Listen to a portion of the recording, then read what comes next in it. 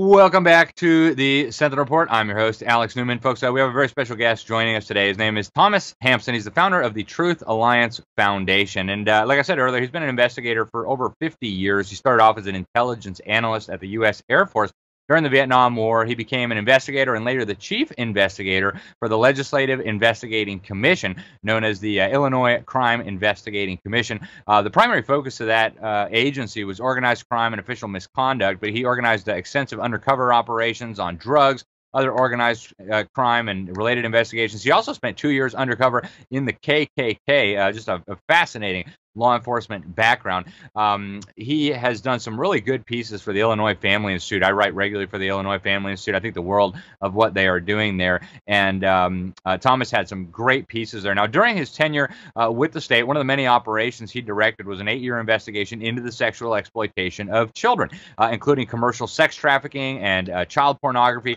It remains the most extensive law enforcement investigation on this topic ever done in the United States. so, after he left uh, employment in the state of Illinois. He founded this international investigation agency that specialized in conducting complex civil and criminal investigations. Uh, many of the investigations he conducted actually went after sex predators. In uh, 2016 or in 2006, he was hired by the Illinois Department of Children and Family Services to conduct a one and a half year investigation into the sexual, sexual exploitation of children by priests in Illinois. And again, in 2009, he founded this great organization, the Truth Alliance Foundation, the nonprofit dedicated to finding better ways and more effective ways of protecting children from child sexual abuse and sexual exploitation. Uh, Thomas, welcome to the program. Thank you so much for joining us. Uh, really, it's, it's an honor to have you. I, I enjoyed thoroughly what you wrote about for uh, the Illinois Family Institute. Now, the, the thing that struck me the most, you know, you, you say that the vast majority of the the child sex stuff is not actually they're going out and kidnapping kids off the street, but there, there's different mechanisms whereby they lure these children into this kind of trap. Uh, talk a little bit about how they they obtain children and procure children for these horrors. Well, most of the most of the kids who have been uh, who wind up uh, being involved in sex trafficking, who are trafficked by others, have been sexually abused early in their life, so they've already been desensitized to sexual activity. Um, many of the ones that are most active in the commercial sexual exploitation are are kids who are runaways. That is the the children who are, who are most active are runaway children, and uh, they get involved with uh, a a pimp, somebody that they consider more their boyfriend than somebody that they work for, um, and the boyfriend puts them to work on the street in order to in order to earn money. Uh, there are uh, hundreds of thousands of them. Some of the some of them are are actually still living at home and they're being run by um, by their boyfriend as a as a prostitute on the streets.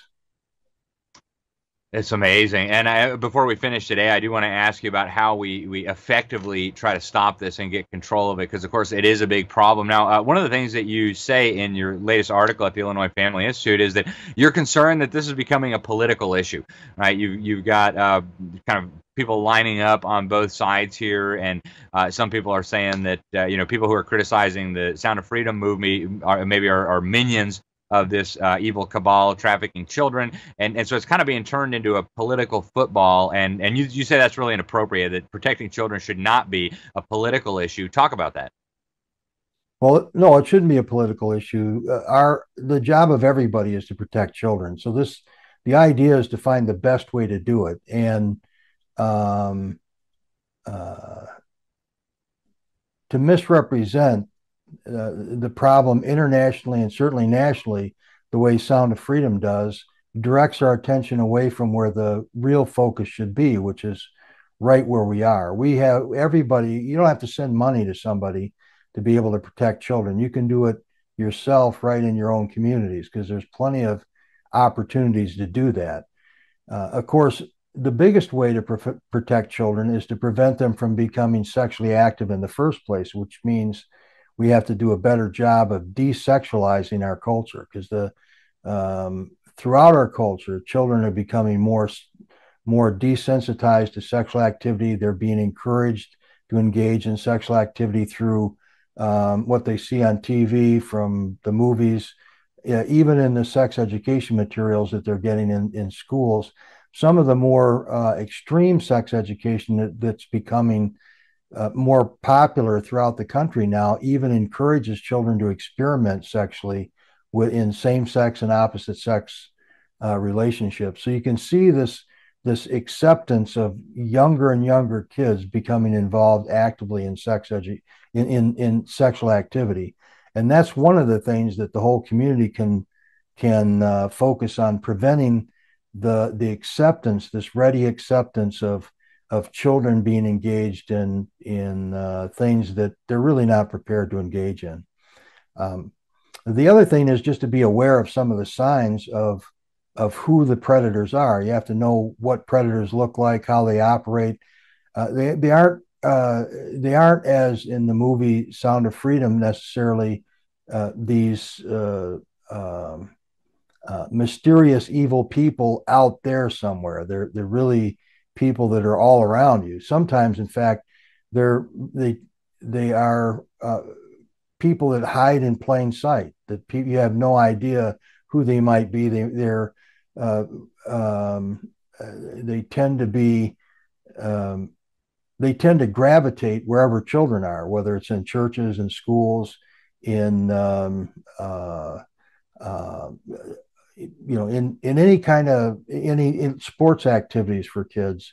Uh, look at uh, Larry Nassar, who was the who was the gymnastics coach. The um, you had um, uh, Jerry Sandusky, who was involved with the with uh, the youth. He had that second mile organization, and he worked and he worked with youth. They appear to be decent, uh, nice people, and and uh, you have to learn how to recognize what the signs are when somebody might be a potential danger.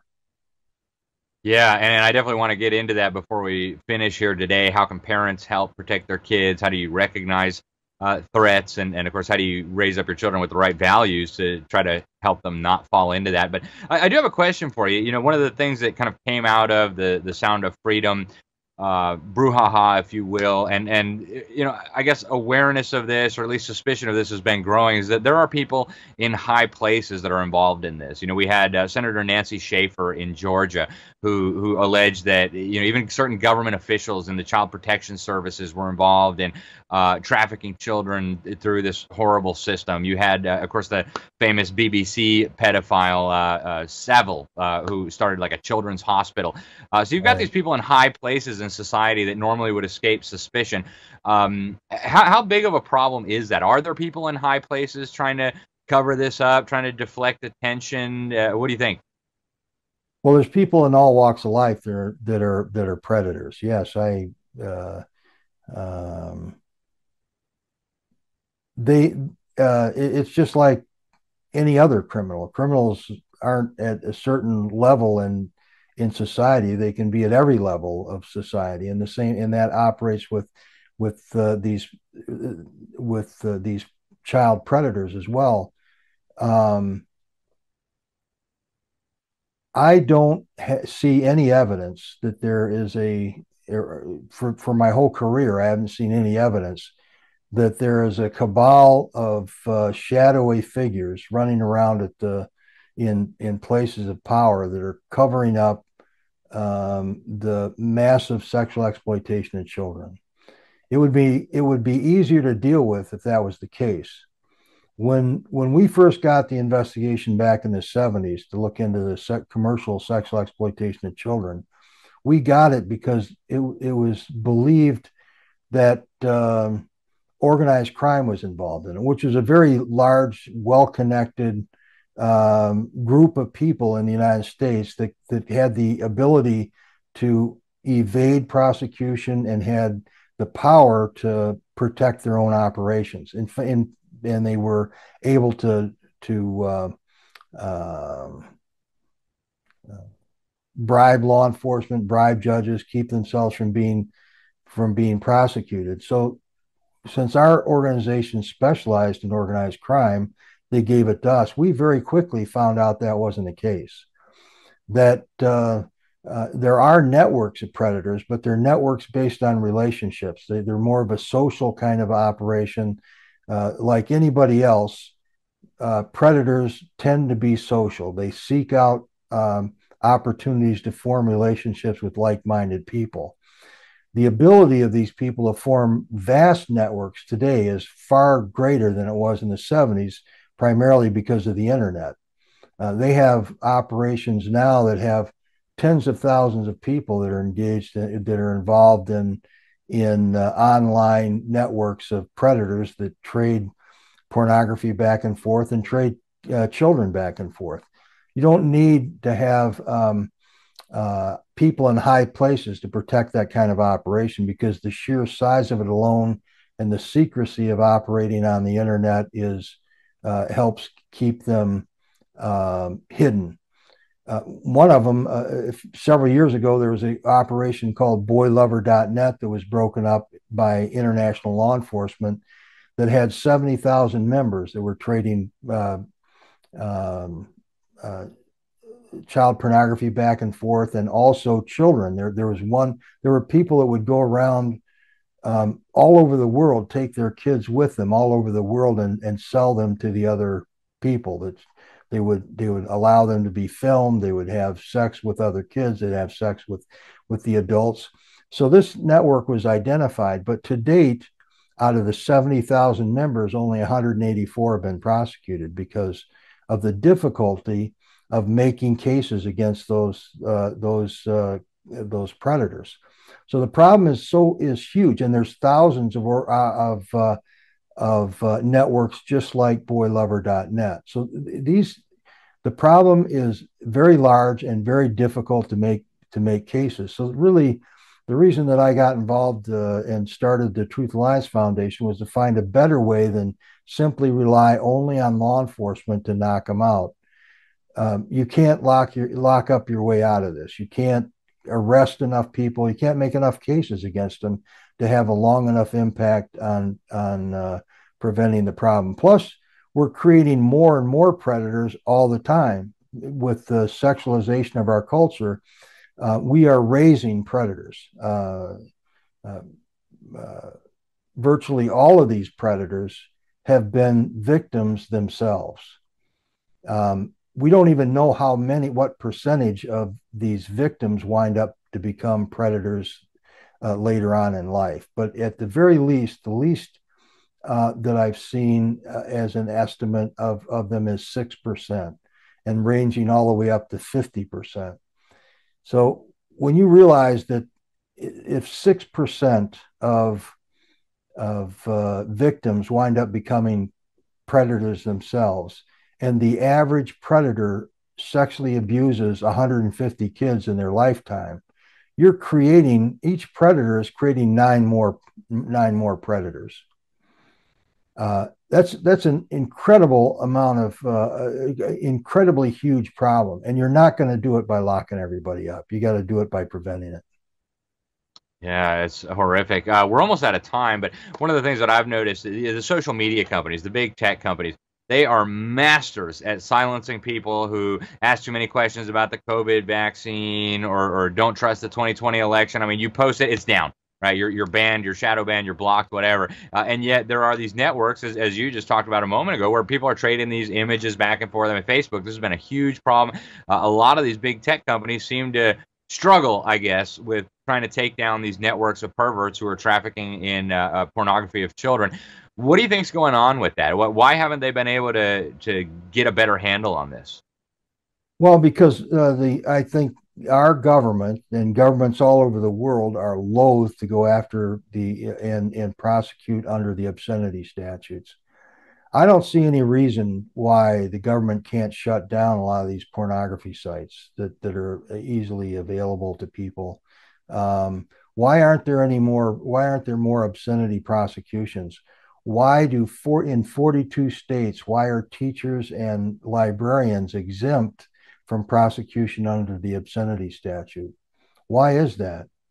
Um, it's because there is this big movement in the United States to re- remove the uh, the age of consent and to encourage children to experience sexual pleasure. Uh, um, the the international sexual rights of the child state that every child has a right to experience sexual pleasure whenever and with whomever they want. These are these ideas are being promoted by large organizations. Planned Parenthood is one of the leading the International Planned Parenthood is one of the leading organizations to promote the sexualization of children. Um, and we're tolerating that, and that's that is a huge uh, problem internationally. It's not just in the United States; it's all over the world. Yep. Uh, we're down to just about one minute left, but uh, real quick, uh, I want you to tell the folks how, how they can find your information, your website, but uh, some quick tips for parents and, and adults. How do you protect children from predators who may be in our midst? Well, you have to be engaged with your kids. Uh, you, can't you can't just simply trust teachers or or uh, coaches or whatever. You have to be uh, actively engaged uh, with them. Predators won't go after kids whose parents are involved. They go after kids who are more vulnerable, who are isolated, who who don't have who don't have many friends, whose parents are distracted by other uh, by other things, and they're not they, they don't go to their their games, they don't go to their activities at school.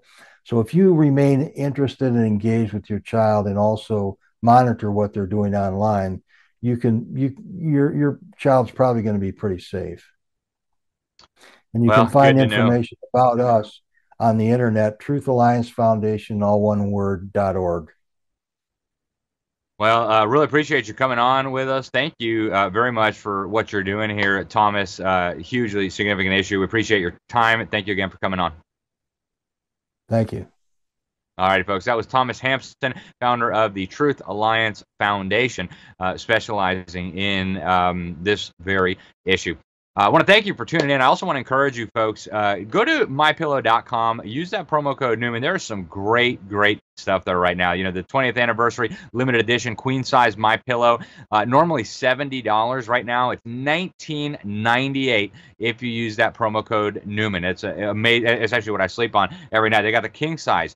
Uh, it's on sale right now for $29.98 if you use promo code Newman. You can save 25% off your kitchen towels, uh, you've got all season slippers, regular price $149.98. With the promo code, this is a closeout sale, $25. I'll tell you what, my wife wears these all the time, just absolutely loves them. Uh, we've got bed sheets on sale for as low as $29.98 if you use that promo code Newman. And uh, I mean, coffee, the My Coffee, which I, I have really enjoyed, is just a, a great, great product.